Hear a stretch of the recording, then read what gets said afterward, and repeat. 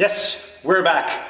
Um, injury, injury, injury in my leg, in my shoulder, etc., etc. So I haven't been able, uh, really haven't been able to train heavy these last five to six months. Really, after I uh, had to uh, skip my uh, my competition in April. Um, feeling very well uh, at the moment, so uh, I'm going to restart, um, meaning low weights, deadlifts today, conservatively 120, maybe 125 kilos, somewhere about uh, there in the third set.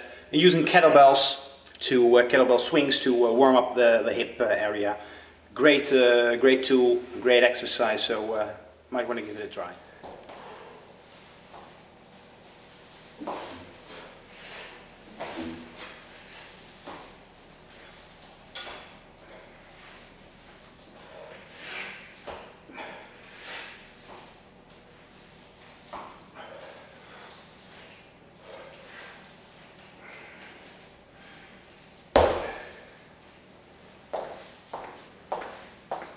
Here we are again, uh, 5 kilos lighter due to injuries, etc. So that's the reason I haven't been working out for heavy for months really.